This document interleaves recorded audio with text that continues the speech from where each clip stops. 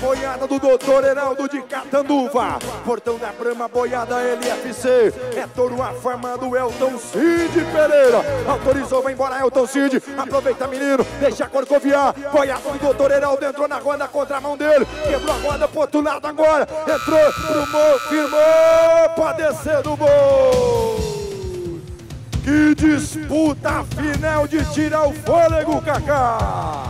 Uma montaria tecnicamente perfeita. Você vê que o menino muito atento aos movimentos do Marruco. Você vê que ele entrou na roda do lado contrário da mão, isso costuma complicar.